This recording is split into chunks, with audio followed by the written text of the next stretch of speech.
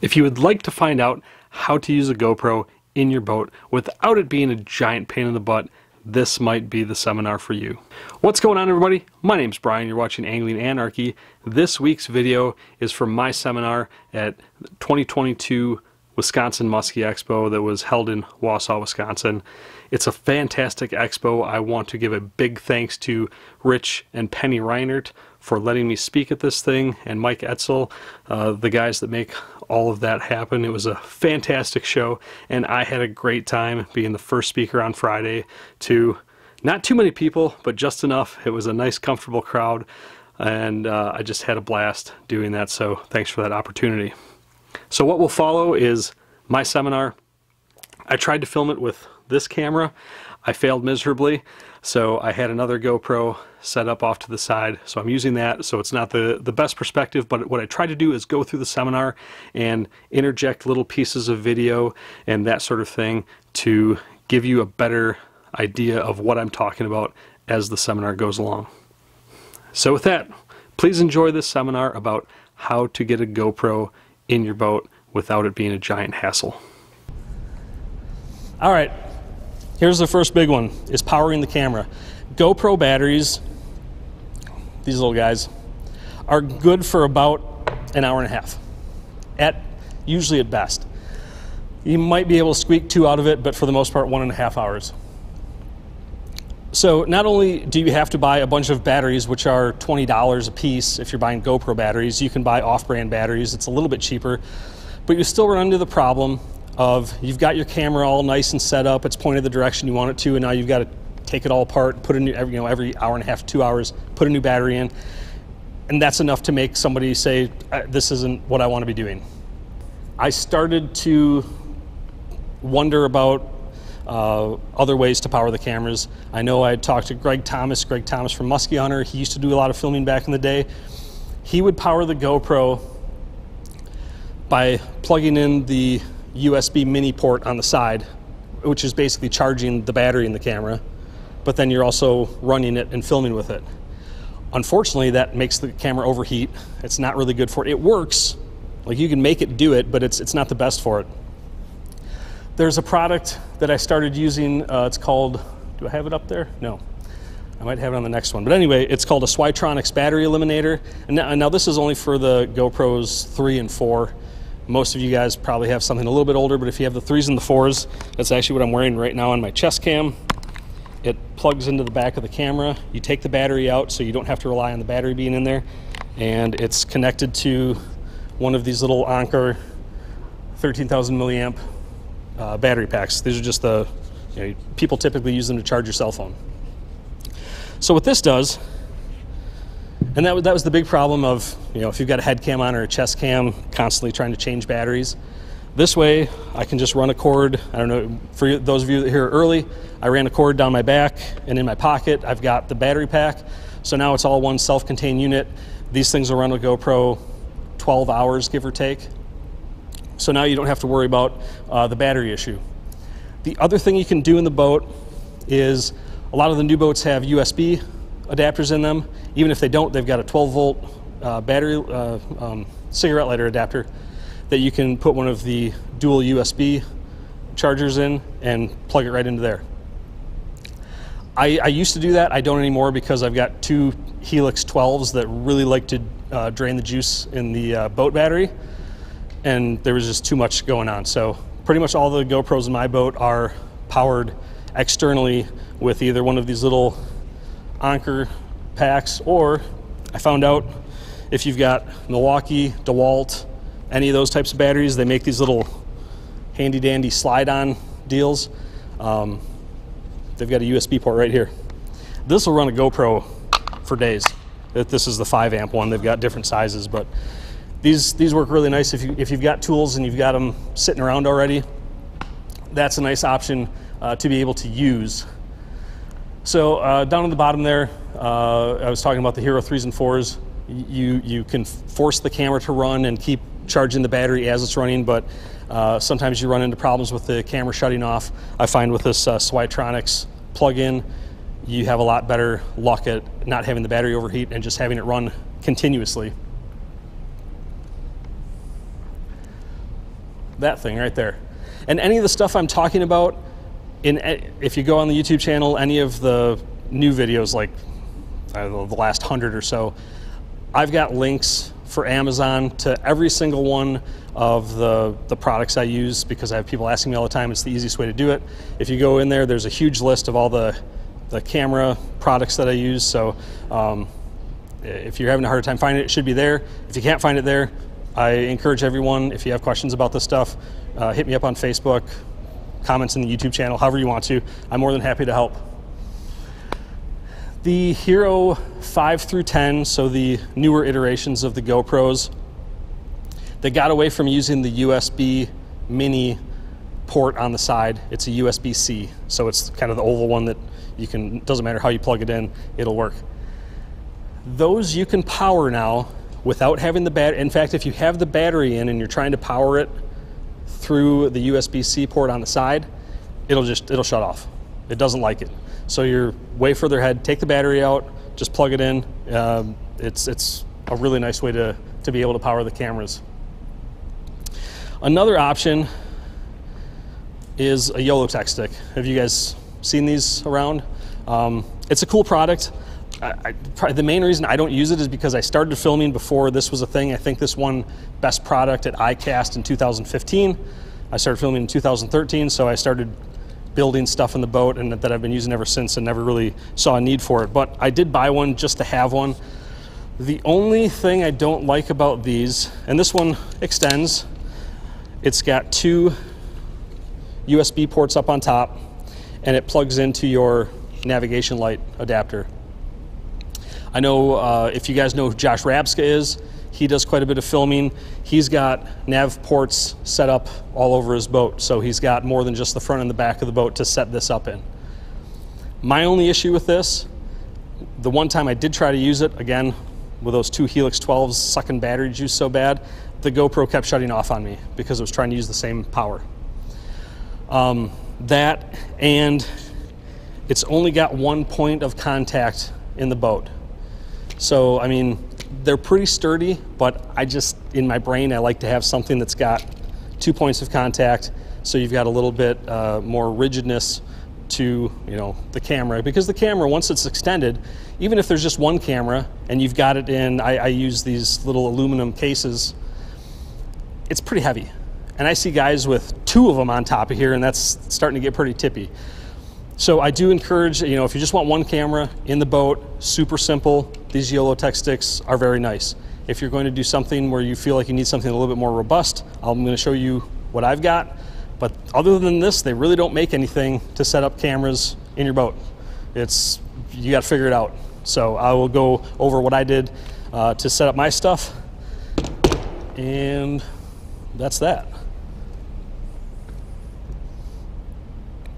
All right, so that's, that gets rid of our powering problem, hopefully. Next problem is running out of SD card space. So when this stuff comes up on Facebook, the two things people bring up are powering and, oh, you're gonna need all sorts of SD cards because you're gonna run out of uh, run out of space. If you're constantly filming hours and hours and hours of nothing happening, because that's musky fishing, uh, it, it starts to become a problem. So there is a thing on the GoPros the Hero 3 and up, so any of the newer ones have this. It's called looping.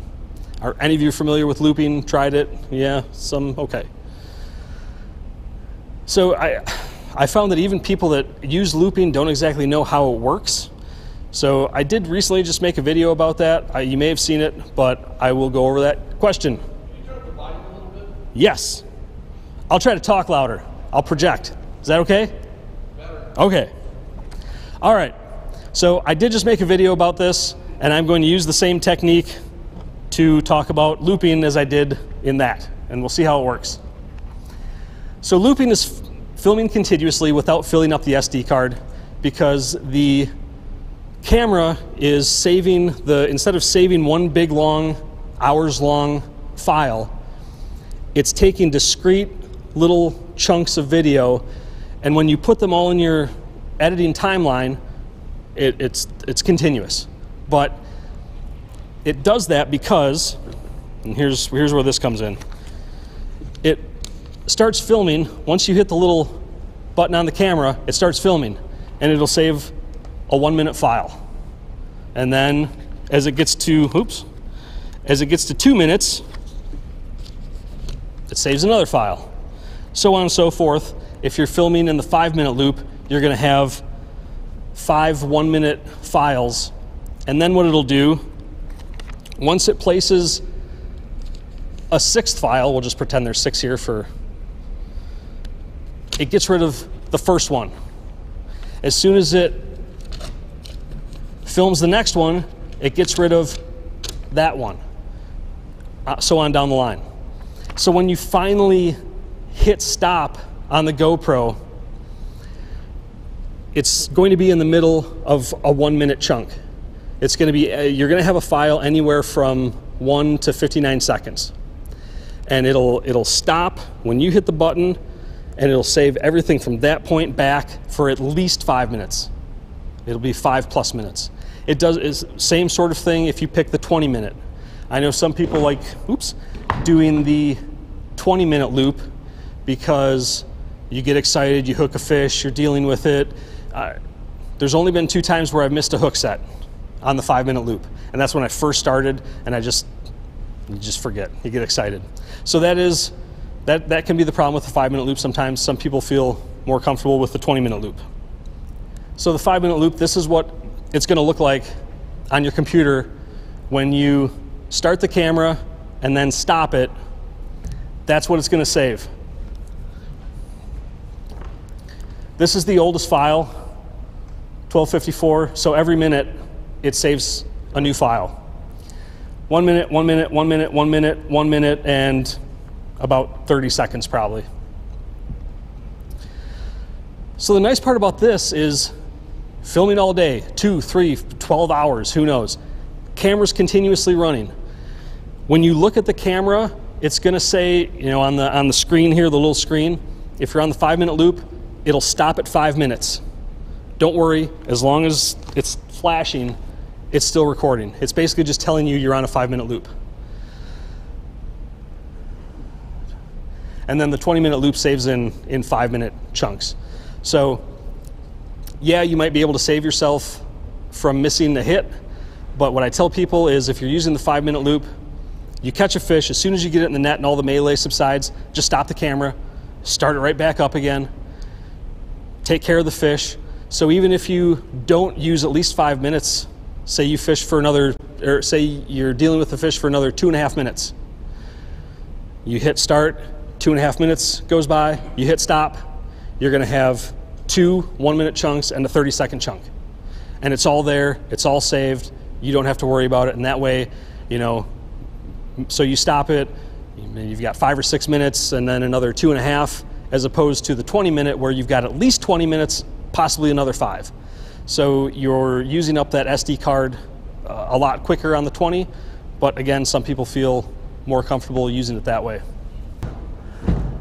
So here, those uh, it's not the same files in, from the last slide, but it is six files. So this is, I've stopped the camera, and this is what I ended up with.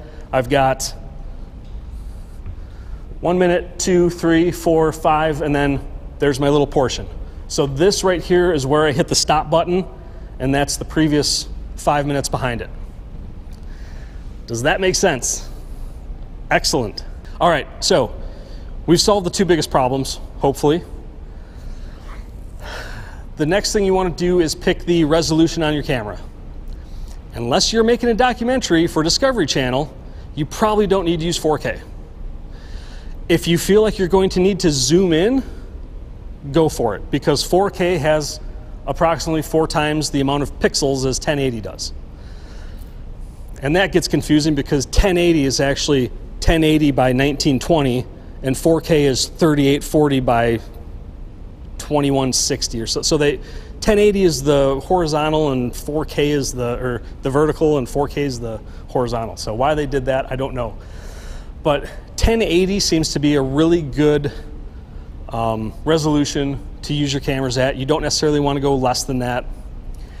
At 1080, 60 frames per second, If my memory serves me correctly, a 32 gigabyte chip will hold an hour and 15 minutes of footage.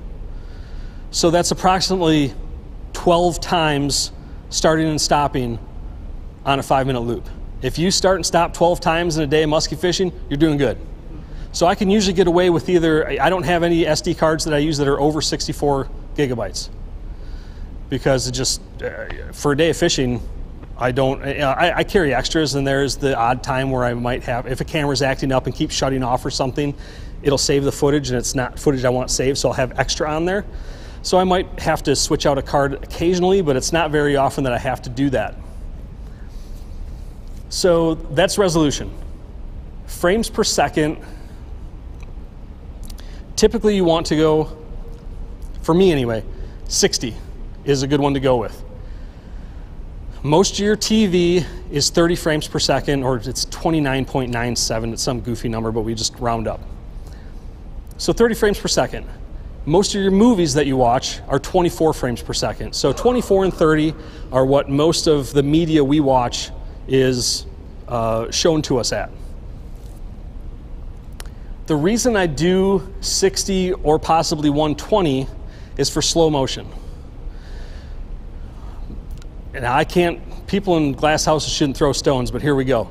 I've got videos that I made a long time ago that have crummy slow motion. It's one of my biggest pet peeves. When you see slow motion that just is kind of choppy, it's because the original video wasn't filmed at a high enough frame rate for it to be slowed down. If you see that nice smooth, you know, you like a muskie's jumping next to the side of the boat and you, you can see the individual water droplets, that was filmed at a really high frame rate so that when you slow it down, you still have enough frames per second to make it look cinematic or, or make it look nice at that 24 or 30. So, real quick math for you. Follow me with this. If I'm filming at 120 and something cool happens that I want to slow down, in that one second, I've got 120 frames. So when we take it to the editing software, it's going to change it to 24 or 30. Whatever you have the editing software set at, that's what it exports the video at. So you could have a 120 frames per second clip and a, a 30 and a 60, and if you've got it set at 30 frames per second, it's going to take one, one of every four of the 120 frame per second, and that's all it needs. So you have excess frames, and it still looks nice. Same with the 60. It's taking the 30 that it needs and getting rid of the rest of it. So you have an excess when you're watching it normally. When you slow it down, so say you want to slow something down five times. If you've got 120 frames per second you slow it down five times, you still have 24 frames.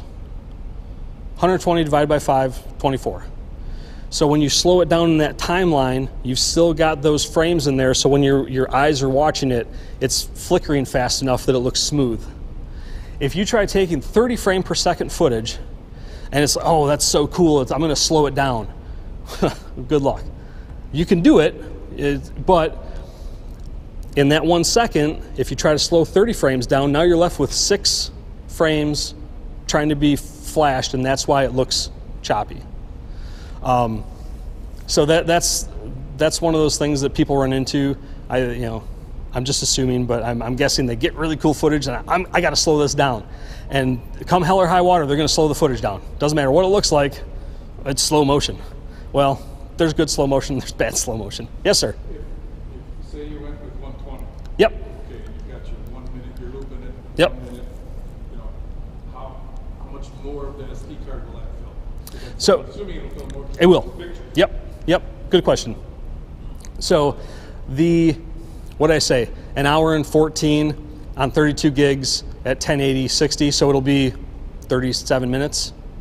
So, th- typically, what I do the, the boats or the camera that I have in the boat, the two that are on the gunnel that I feel like it's going to have a fish jumping in front of it, might have something cool happen that I want to slow down, I run those at 120. So I put bigger SD cards in those cameras. The pole that I have in the boat behind me, um, I typically run that at 60.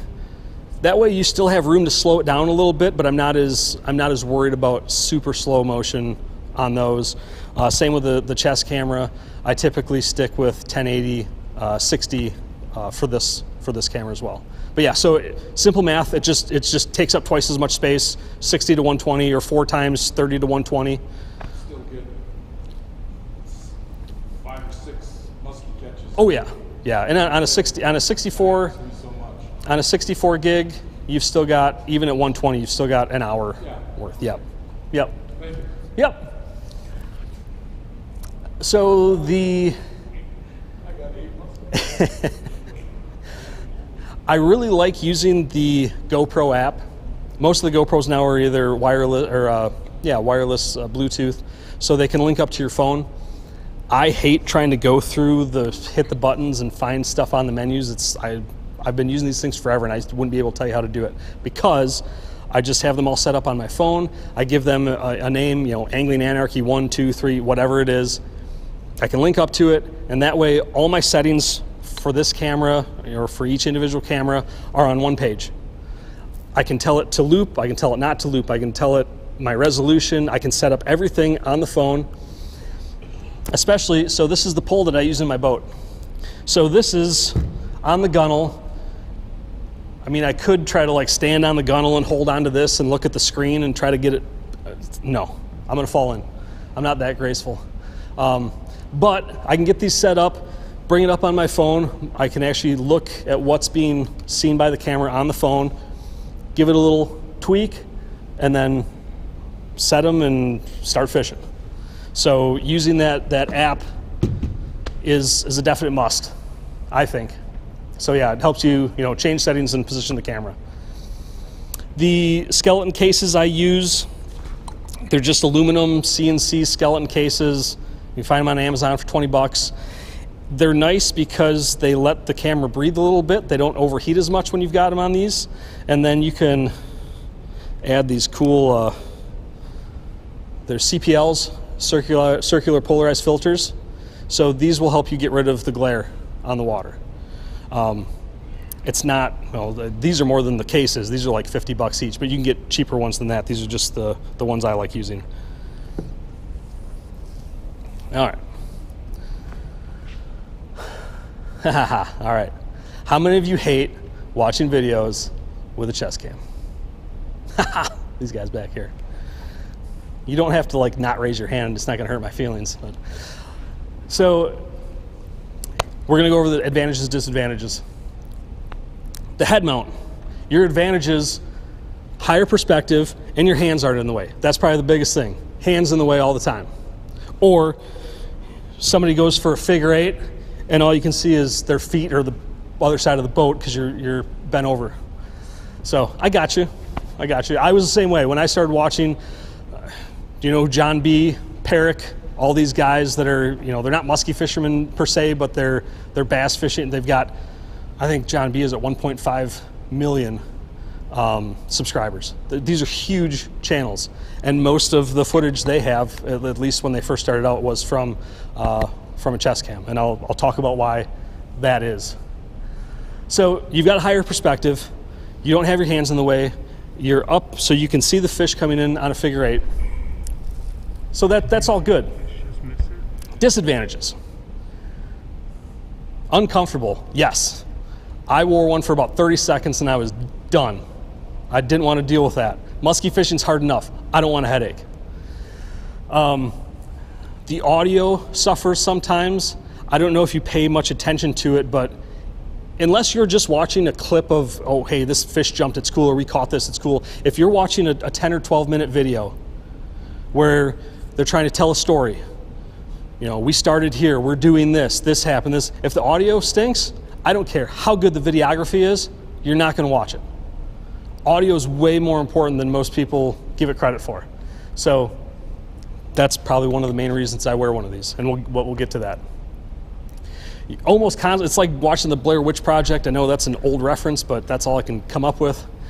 Um, it- it's just even though even though you don't think you're moving your head, you are. So you're it's over here in this, and you might get you might get seven seconds of a, a beautiful fish coming in, and that's great. But you better have some other cameras set up to back up that footage for when it gets crazy or, or jumpy or, or crummy. So, uh, you know, it is. It, I don't want to say it's bad footage.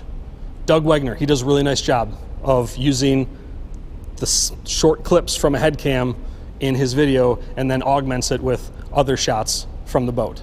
So, if you're just using one camera, you do get that cool shot, but the rest of the video, as far as I'm concerned, is not the not the greatest. All right. So the chest mount, the advantages. 95% of the audio I use in my videos is this. That's a $175 mic on the nice camera. Most of the time when we get a fish out and I'm talking about it, I drop the audio out of that and use this because it's typically better. The, the, I use a Hero 4 Silver. I think it's probably the best microphone that uh, GoPro ever had because this was the last camera they made that wasn't intrinsically waterproof. So the five and up, you don't have to have it in a case as long as you've got all the hatches closed. It's waterproof. But that means you have to make a waterproof mic. And a waterproof mic sounds like this a lot of the time. It's just not the the nines and tens and the, the newer ones have solved that problem a little bit, but I still feel like the audio from this is, is a lot better. And that's where the John B story comes in. Uh, today's angler, I'm friends with Robbie and Lee. They film with John B, and that's what John told them is the reason you see most people, most successful YouTubers anyway, wearing a chest cam is they're trying to tell a story in their video and they want their audio to be very good. So it's right here. So even even if you know with with all the other cameras set up, even if I don't use the video from this, I've got fantastic audio. The upside is every now and again because I see people wearing them like this at an angle down. So yeah, your hands are in the way, and a a lot of times the camera's down here. The mount I've got sits a little bit higher up on my chest, just enough, and I, you know, I do force myself to keep my hands down a little bit more. I fish a little bit different, so if you don't want to make that sacrifice, maybe not the best thing, but. And then what I do is keep it about parallel to my chest. That way, when I'm fishing, my hands and the rod are maybe in the very, very bottom portion of the screen. If I bend over, now it's pointing right, right at a fish. Your hands will still get in the way, but here again, I've I make some sacrifices when I figure eight, maybe do it one-handed or something to keep my hands out of the way. Um, but yeah, so that way I've got awesome audio, and hey, I might capture something cool. If I don't, I've got other cameras in the boat to take care of that. Um, it's they're they're pretty comfortable compared to a head mount. It's they're a lot more comfortable than that. That's for sure. See what kind of time we got here. All right, we're doing good. There's less movement, so when you're when you're fishing and your your head's all over the place, your chest is usually pretty stationary, or at least it's not as all over the place as your head is. It gives you a nice POV or a point of view when you're talking about baits. So for me, when I'm starting the day out, I usually say, "Hey, you know, I've got a Navin and a surgical strike, and, and it's right here." It looked pretty silly if, "Hey guys, this is what I'm doing today," and trying to film it with a, a chest or a, a head cam up here. So it's just nice for the filmmaker, I guess, to have it right here because then you can talk about things, and uh, it works works pretty nice that way. So, and then we went over some of the disadvantages. If worn improperly, the video definitely does tend to suffer, and your hands definitely will get in the way. But again, wear it up a little bit higher and keep it pointed up a little bit more than than you'd, you'd think you need it to, and you're still on the wide view. It captures all sorts of stuff. So that's that.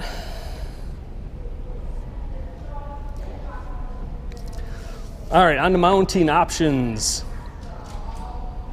Again, with the exception of the YOLOtek stick, you just got to figure it out. Um, I tend to like these little projects out in the garage. You know, I, I, can use a RAM mount here and connect it to this and, and make some Rube Goldberg device and make it work. Um, but the windshield gunnel rails work really nice. The GoPro clamps do a really nice job. If it's if it's around a pole, it does really good. Or if it's something relatively thick, if you've got a thin windshield, it tends, since that space in there is just big enough, it rocks back and forth a little bit. I found if you take a piece of either cardboard or, or just take a towel, wrap it up, and wedge it on there, it holds these really nicely on a, on a windshield. I love using ram mounts. They're super versatile, very secure. These are the two cameras I have on the gunnel of the boat. And I've got some pictures coming up here, so. All right, we talked about the clamp on. The sportsman's mount are these mounts. You know, if, if you want to come take a look at it afterwards, uh, it's just a different type of clamp mount. Uh, a lot of people use these on shotguns. So that's the that's the sportsman's that's what the sportsman's mount is. And then of course the YOLOtek. All right. This is probably from like 2014 after watching I will give all the credit in the world to Mike Keys because I was watching his show and I I can't remember if he was using early on he was using a, a painter's pole that telescopes to have you know to keep some of his cameras on and I was watching it and not that I thought, hey, I can do exactly what he's doing, but at least it gave me the idea of, oh, okay, I see, I see how he's got it set up. I'm going to attempt to do that in my boat. And this is what I came up with. All right, so we got the pole.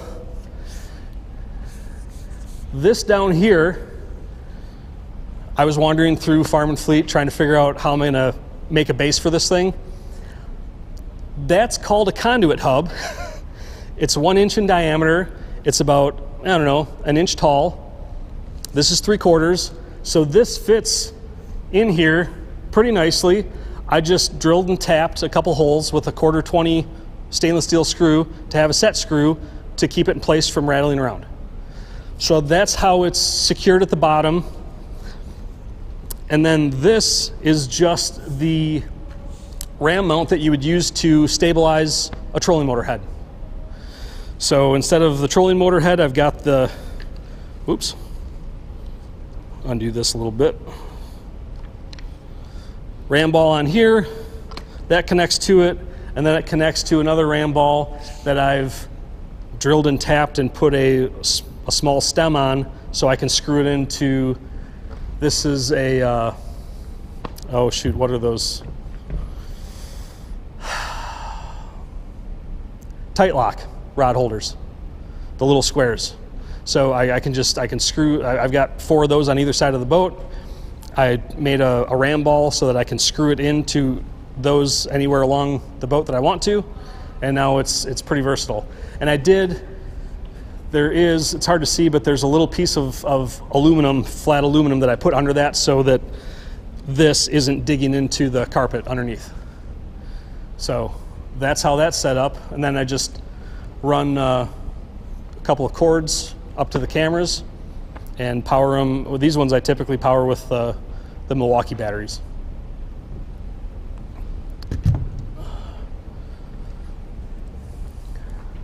And those are the type of shots that you get with that setup.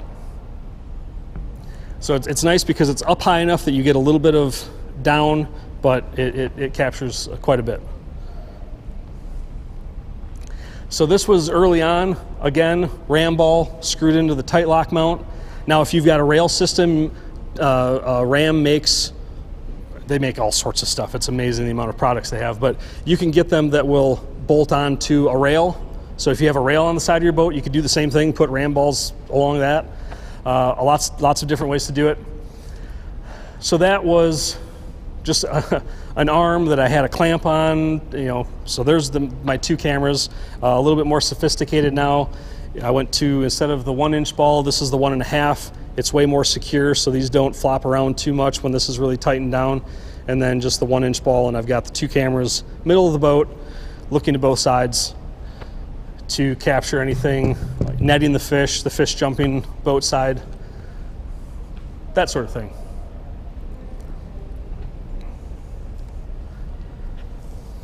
All right, so you can get creative.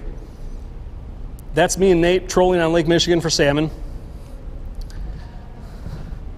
That's the Minn Kota pushed all the way up, locked in place, and I've just got one of these, and I, we just drove around with them in up all day, and it was where we put our camera. So Um, lots of different ways you can you can make it work.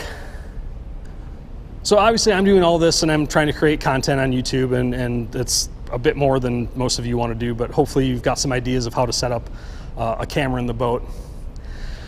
And what I tell people is, like, you're a football coach, and this is your game film. You can watch yourself make mistakes and hopefully learn from it. So I'm going to try to scrub through this here. I need to get down to the. Let's see here.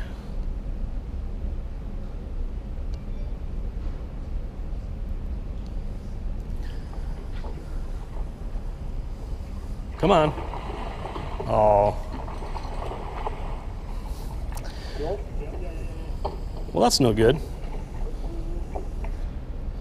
It's a bunch of me actually catching stuff. I don't know why it doesn't want to work on there. Okay, well, anyway, we'll just talk about it. A couple years back, I was up in Canada, and I had a fish that I, or well, I, I cast to the shoreline, kind of looked down. I'm reeling my bait in, and my buddy Dave says, Hey, idiot, a fish just rolled on your bait. Pay attention. I cast this way, and the boat is facing almost towards the fish. So I quick get on the trolling motor, try to turn the boat a little bit sideways so that the boat is perpendicular to the fish. I didn't quite get there, so when I came in, my strong side is to go to the right. I came in to the left, and when the fish surprised me and hit in this top corner, instead of hooking back into the fish, I went that way with it. I kind of fought the fish up around the trolling motor. The second mistake I made was hey, the cameras are on that side of the boat. I should force this fish back over there so we can capture this. And in getting back around to the front, I lost it through a small hissy fit, which is kind of fun to watch that. So I kind of bummed it's not working. But, uh, but after going back and watching that, I started thinking, you know what? You you feel more comfortable coming in, going up around, hanging it in the top corner, setting back into the fish, and then there's like six of those back to back to back. Fish comes in, goes in, bam, catch the fish. So that that was one of the first times I was watching something that I had filmed and thought, I'm making a mistake there. I need to improve upon that. So I encourage everyone to have a camera to make yourself a better fisherman. Um, and it's cool to watch the footage too. So.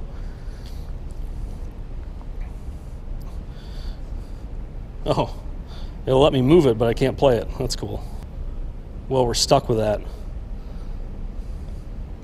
Okay, we'll just go from this. So, some other filming tips.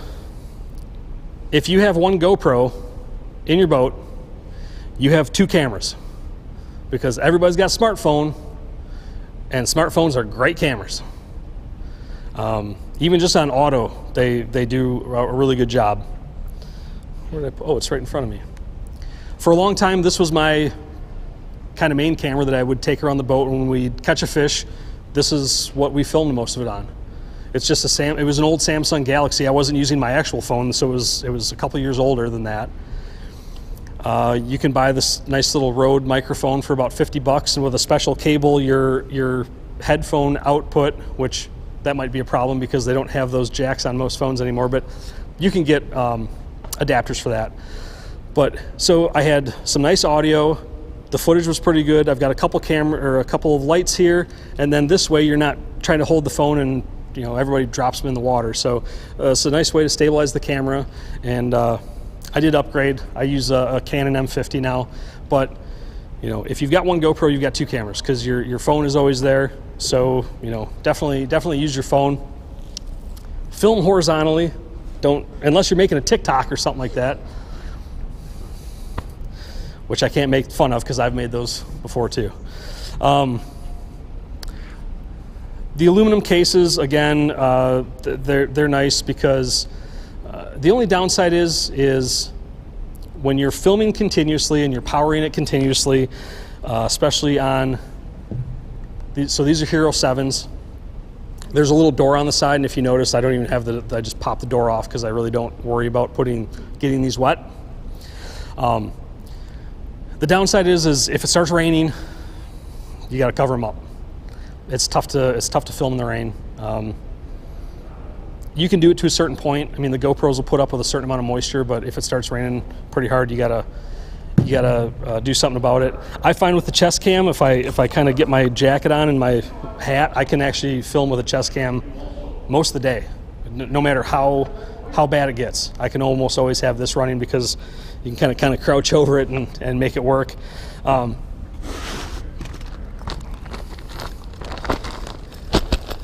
if anybody ever gets linens, that sort of thing, super nice bags. They've got a zipper on them. You can, you know, pop them over the camera, zip it on, and now you've got, you know, I've, I've got all sorts of sizes of these, so I can throw it over the pole and cover both those cameras. So if it starts raining out, I just get some covers on the camera quick. And as far as getting the audio, one thing I didn't mention, you can see this little fluffy tuft. It's probably hard to see, but um, so these things are called a dead cat because it looks like a dead cat, I guess. Um, they cut down on wind noise. So if you just have if you just have a microphone um, and you've got any sort of wind, you're going to hear that sound. This eliminates it. So the microphone on this GoPro is right up at the top here, and there, there's a little cutout in this case to let sound get to the mic. And I just took, I bought a cheap dead cat, and I cut little pieces out of it and just fit it in on here over top of it, and that's why the audio ends up being fairly decent. Even if I'm standing with the wind blowing at me, the audio you get is actually still pretty good. As far as file storage and organization goes, everything I get, I put on a two terabyte external hard drive. Uh, it just it the video footage is it's it takes up a lot of space. So if you start putting it on your computer, it's going to slow your computer down. I've I think I've got four or five two terabyte SD cards filled up at this point. Um, so the, definitely uh, good to have one of those. As far as storing your files, there's a couple different ways you can do it. Since I've got so many cameras, so I've got so many things going on, I'll have a folder that says, you know, bow, which is looking at the bow, and then all the files from that day will be in there. I, I tend to save them by, let's say, if I'm on a big trip to Eagle Lake, each day is, you know, day one, day two, day three, and each one of those folders is bow, stern, gunnel forward, gunnel back, chest cam, uh, Canon, drone, whatever. And then in each one of those is the corresponding footage. You can break it down further than that. You know, whatever, whatever works to keep it organized, just keep it organized. If you're on a long trip and you're filming that day, get back in the cabin, dump all the footage, clear the cards off, and start brand new. I'm usually the idiot that everybody else is drinking and having a good time, and I'm sitting there on the computer trying to dump all the footage from that day uh, so I don't forget to do it. And, and it just keeps it, it keeps it organized. Um, that's it for that. One other thing, oops, I wanted to talk about. These are tough to find now, but this is another nice option for mounting cameras. It's called an Easy Cam post. Um, I don't know if any of you guys ever used to watch Giant Quest. It's an old uh, old show on. You. I don't even know if the, the videos are on there anymore, but it was Heinrich Beer and Mike Grant, uh, both very good muskie fishermen. They made this thing called an Easy Cam post, and it's it's pretty cool. You can they made it so that you can put it on the uh, post of you know take the seat off the boat and and this ratchets it on again two points of contact keeps it nice and stable goes up and down uh, i've used this fishing with captain mark kornoski on lake st clair we'll just set up one of those round uh, aluminum rod holders straight up and down and just clamp this onto it keep it on the side of the boat and i can set his boat up almost exactly the same way i have my boat set up that way so that's if you can find these. Um, I, they used to have a website, and I, I don't know why, but they're they're not selling them. But you might be able to find them used or something. They're they're pretty handy. I think that's it. Do you guys have questions? So he just asked if I film everything in wide or do I use a couple different. I actually do use a couple different settings. Um, on the gunnel, I use wide because it's so close to the water. I want to open it up a little bit and capture everything that happens down there. This, same thing, I film wide. The two cameras on the, uh, the post, those I usually keep at either, depends on which camera you're using. Uh, They used to call it medium, and now they call it linear, or vice versa. You'll be able to look on the, I mean, it's, it basically goes from, from narrow to wide if you look at the different settings on the camera. So, anybody else? Yes, sir. Uh, Cyberlink, uh, what's it called? Cyberlink Power Director. It's it's sort of a step down from say Adobe Premiere Pro or uh, what Apple's Final Cut, I think. Ado- if you want to get Adobe Premiere Pro, you're paying 20 bucks a month in perpetuity. You can't just buy that software and have it. That's why I went with the Cyberlink. You can, it's 130 bucks. Uh, I think I'm using version 14 or 15. They're up to 20 now, but it's it's it's not a professional, but it's it, they call it like a prosumer grade software. So it's plenty powerful that I don't. I mean, I maybe use five percent of it. Um, there's a lot of things you can do with it, but it's it's definitely it's intuitive. It's easy to use. I, I found it really easy to jump into it after using less sophisticated pieces of software. All right. Anybody else? All right. Thanks, everybody. I appreciate it. So there we have it. Hopefully that was of some utility to you. If you have any questions about filming, please leave a comment below and I will try to answer it or hit me up on the Angling Anarchy Facebook page. And thanks to all of you that came out to the shows, stopped by the Chaos Tackle booth, said hi, and thanked me for the content. Thank you for watching. I appreciate it very, very much. With that, I love you guys. Thanks for watching, and I'll see you on the next video.